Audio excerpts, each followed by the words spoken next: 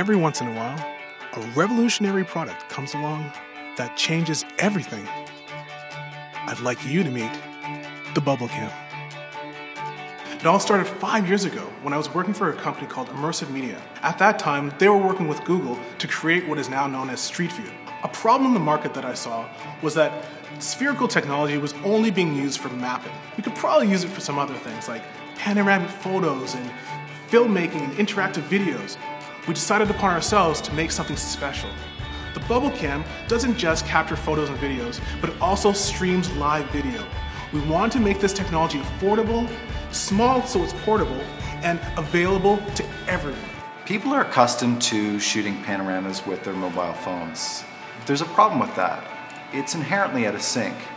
With the bublcam, you press the button once and boom, you've got your photos, your video, and you pop it in our software, you can look all around. It's amazing. We've designed the camera in a tetrahedral orientation to ensure there are no blind spots because each camera overlaps the adjoining camera. No other camera that we've seen on the market is able to handle that as well as put it in a form factor that's the size of a baseball that's light, portable, and easy to bring around with you in any environment that you want to record. With Bubl's patent pending tetrahedral design, you'll get 14 megapixel photos, H.264 video capturing 1080p at 15 frames per second, and 720p at 30 frames per second, Wi Fi live streaming, a micro SD slot, and USB streaming. I really think people are going to want to buy the bubble camera just because of its, its, ability to shoot in many different directions. The fact is, it takes in all views in real time, whether it be security and surveillance, action sports, gaming, real estates, teleconferencing. I, I, really do think the opportunities are endless. With Bubl's SDK and API, our goal is to allow people to experiment and explore with this new technology.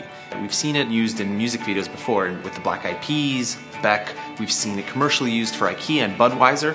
One of the most exciting things that I'm looking forward to is seeing how filmmakers are going to be using 360 video. It's a whole new way to shoot things and create interactive experiences and a new way of telling stories. Body Mind Change is a, is a co-production between TIFF and the CFC Media Lab.